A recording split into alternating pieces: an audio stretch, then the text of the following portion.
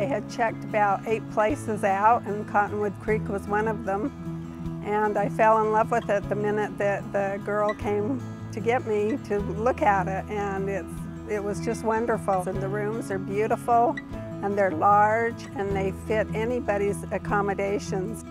I love the food here because there's always such a good selection. They have activities where you can sign up and take uh, computer classes and fitness classes and all kinds of things like that.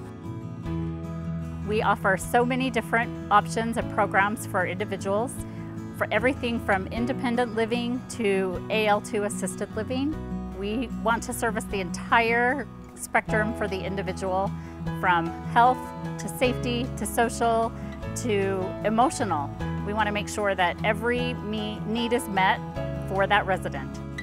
Everybody here seems to be more helpful and glad to help you.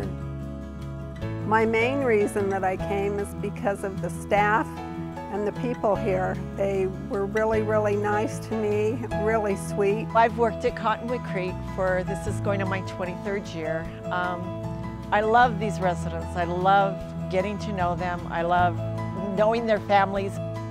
We're here 24-7 for our residents to help them be able to enrich their lives each day and be able to do the things that they still love.